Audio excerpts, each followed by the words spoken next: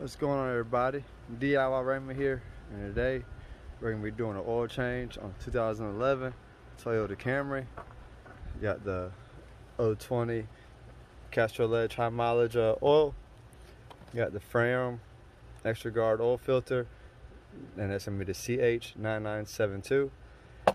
Probably to need this one but I like to have it just in case and I can always keep it in the trunk for whenever I need to add a little oil to the car. So I already got it raised up uh, or put up on the ramps. Now one of the things you is you don't necessarily have to do it if you don't want to, but I like to do it. Go ahead and put your little chock down, something, piece of wood, whatever, block to stop your car from rolling backwards, just in case it happens. That way when you're under it, you're okay. So go ahead and go on up under here and show y'all how to do it. Alright, so now we're up under the car. Right here is the uh, oil pan. This is where you drain it out from. This right here is to be a 9 16 bolt. So just take my socket wrench.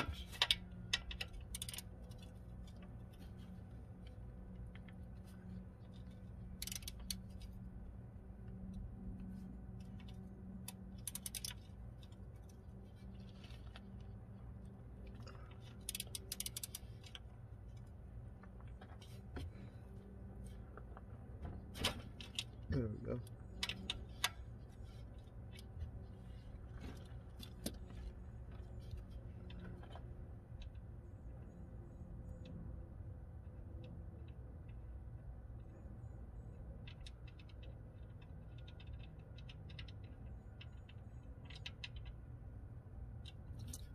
There goes the oil. So now we just sit there and let that drain out for right now so I don't lose the uh, cap. Open that, I forgot about that. Just gotta also whenever you're doing your oil change, you also want to open up the uh, burp valve right here, little air valve, so that way it doesn't get too full and start gushing like it just did then. And then I'm gonna set this little guy right here, I'm gonna set it down right there. While it drains. And while that's taking place, I'm gonna show y'all how to do oil filter now.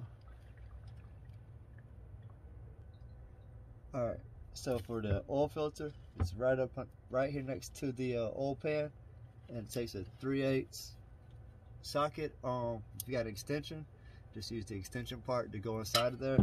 You could buy the uh, oil wrench thing for it too, but this rate's just as good.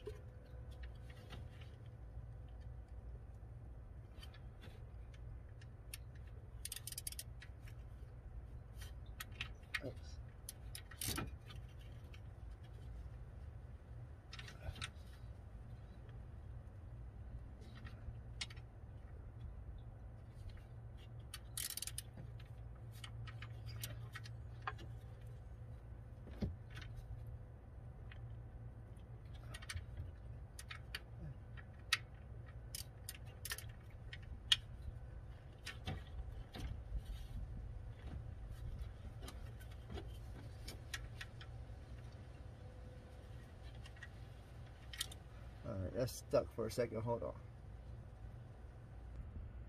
Alright, so now I'm back. I got my breaker bar. It's a half inch.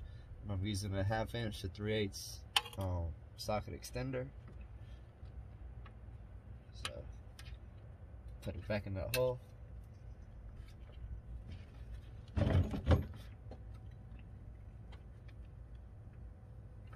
So now I twisted it loose. So let me come back under here with this one. Pull that socket off.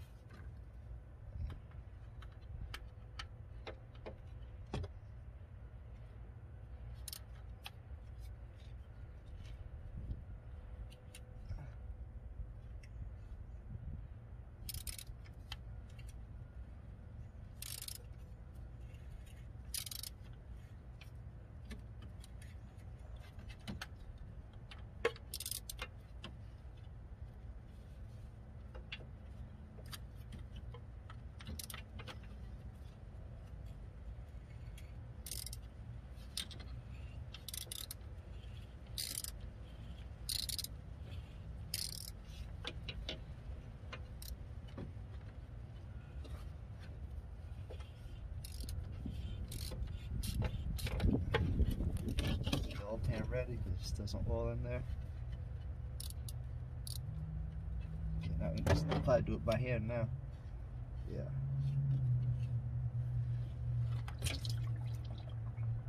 And there goes the rest of the oil. So let that drain on out. And we'll go ahead and get ready to get the other filter to put in there. While I do that, I'm gonna go ahead and wash my hands off real quick. So as you can see, got a little oil on it. Alright, so now we're back. I got this out, took the oil filter out. We're gonna put the new oil filter back in. And also got a little um, O-ring right here that you want to take off. I'm gonna replace that. And with the filter, it gives you the uh, another O-ring. Just wipe this off real good.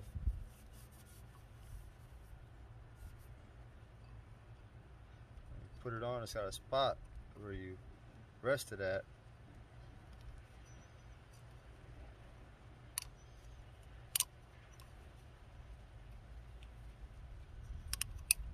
And once you get it on, you're gonna work it down. So, right.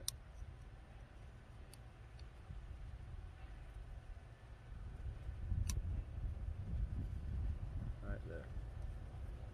So that's where you're gonna put it at.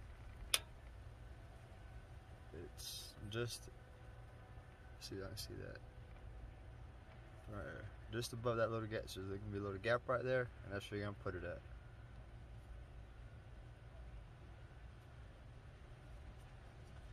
And you go ahead and put your oil filter in. And it's spring loaded. Now we'll go ahead and put that back in, and then we'll go ahead and start putting oil back in the car. So back under the car, and as you can see, that's where the filter goes at right here, and it's right next to the um oil pan. So just take it, and screw it back in.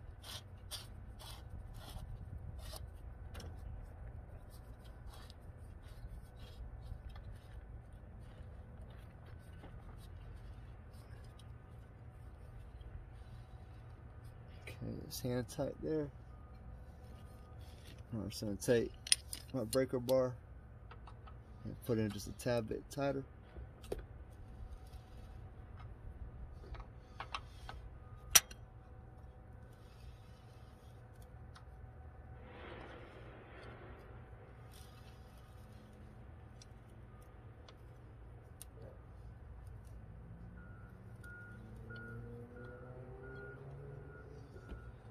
To be careful that you don't over tighten it.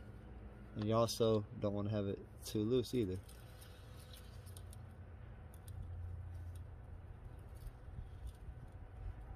That should be good right there. So that's how you change you change out your oil, and now we're gonna fill it back up. All right, now once I fill up the oil, I'm not gonna sit it the whole time and record while I fill up the oil. Everybody should know how to fill oil up. But what I'm gonna do after I do this, I'm gonna show you guys how to reset your maintenance um, light. Saying maintenance is required for like oil change. I'll show you how to change that out here momentarily. But you, know, you just put your filter. You don't have to always do a, uh, a funnel, but it's sometimes good to start off with until you get most of this oil out of here. So I'm gonna show let y'all go or pause it for right now while I do this, and we're back in a minute. All right. So now we got the uh, car running. See if it does any kind of um, leak, something like that. Don't see any kind of leaks down there.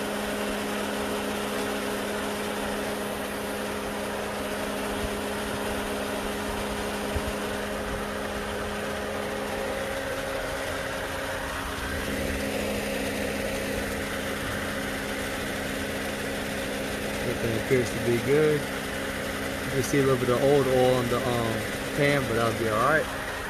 and to go ahead and wipe that down. So let me go ahead and just wipe that all down. And then I'll go ahead and show you how to reset your uh, maintenance light.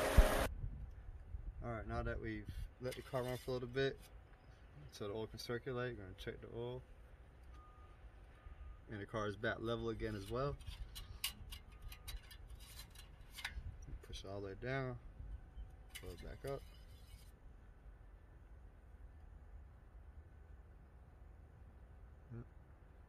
It's pretty good oil level, so ain't gotta worry about nothing on that.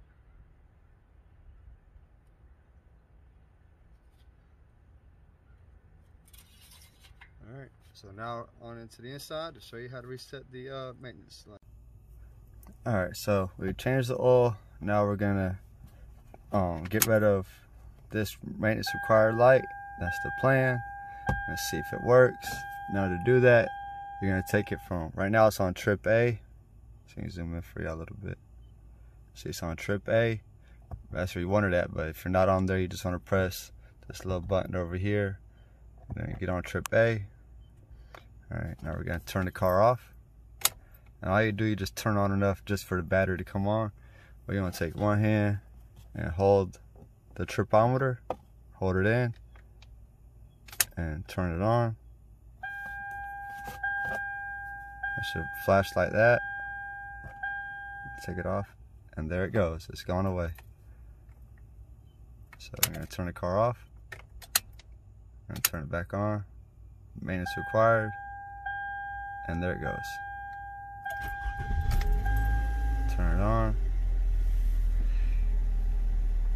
So that is how you get off your, or take off the uh, maintenance required light after you do your oil change. And there's also no service engine light on there. So everything is good to go on this car. Alright, y'all have a good one.